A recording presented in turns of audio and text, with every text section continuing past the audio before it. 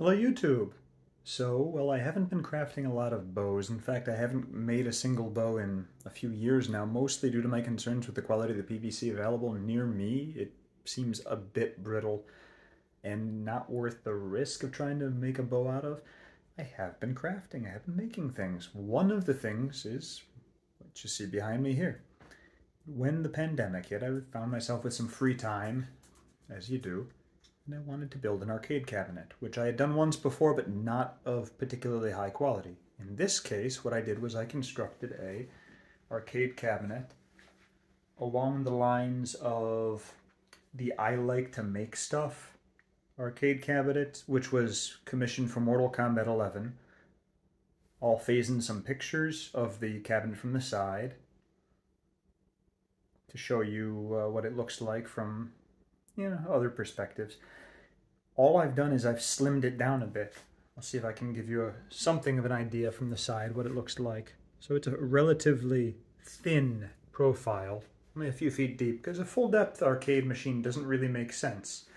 In this case, since it's up against a wall, I've left the back off, meaning I can go back and I can turn. Hmm. There we go. Turn the backlight on for the sign, the marquee that was printed out. I have speaker grills, which currently there are no speakers since I'm using the TV speakers, which are built in. The TV is a $150 32 inch TV bought off Amazon on sale. It was extremely affordable. It's just held to the back using some pieces of wood that I uh, used like a bracket so I could slide the TV after I pulled off its case and frame right in. It can be removed pretty easily all of the hardware down here. This is all X Gaming. I had a completed uh, controller, which was altogether good, but I would have had to disassemble and put in here, so I figured I might as well buy a separate kit just to do that. The computer running it all is an Alienware Alpha.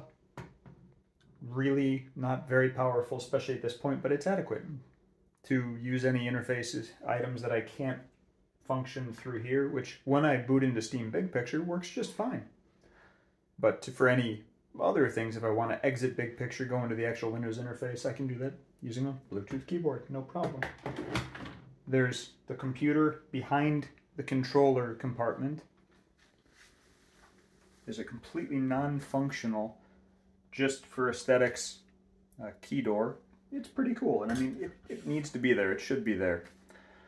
All of the T-molding, see if I can get you a perspective on it, has a leather texture, but it's black, very subtle, looks nice. And all the other art is exactly as you would expect to see on the I Like to Make Stuff machine. Like I said, I bought their plans, and then I tailored them and modified them to my own needs. That was the biggest project that I undertook over the last year or two, and it's pretty satisfying. It's neat. I enjoy its presence more than I play it, but it's it's there and it was a cool project and I learned a lot about woodworking. If anybody has any questions about it, please ask. I'm happy to answer and do what I can. Thanks.